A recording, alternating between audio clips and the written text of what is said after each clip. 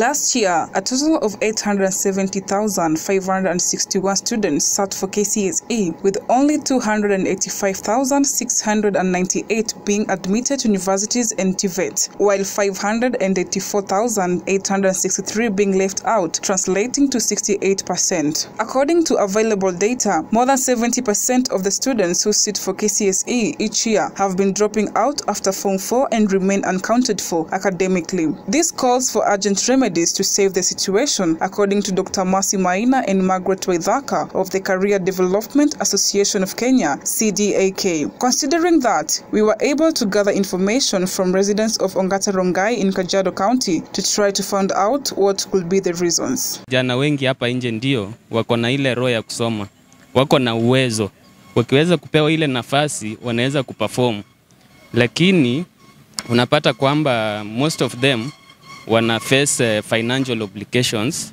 Unapata uh, eh, their background, familia yao haina uwezo wa kumpeleka shule.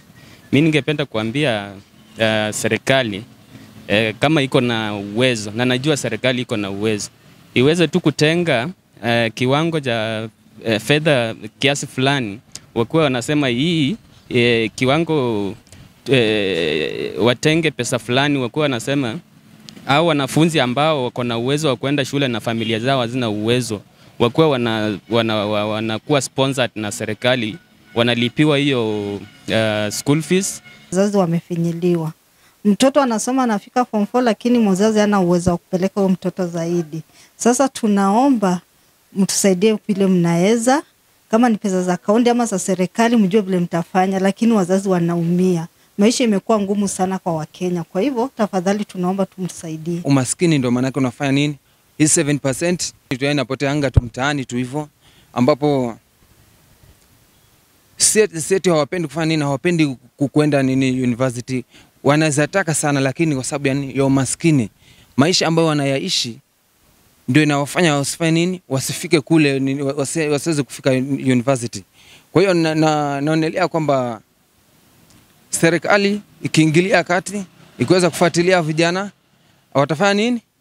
Watafika kule ili wawasaidie wa- wa- wawape nini ule msaada ambao tafanya tuwafikie uwafikishe kule, ili wakafanya nini, wakasaidike pia na wao, kwa sababu kila mmoja anakwanga na ndoto zake, na sidhani kama kuna mtu ambaye anaweza kubali ndoto zake zifanye nini zififie hivyo tu, aishi hivyo hivyo tu, yani kama mtu ambaye hajielewi, kwa sababu kila mmoja ako na nini na, na malengo kwa, kwa katika maisha. Yes. According to the opinions of the Rongai residents, the biggest problem concerning the matter is lack of enough funds for school fees to facilitate the students to join the tertiary education level. The citizens are now asking the government to intervene and come up with the ways that can curb the situation.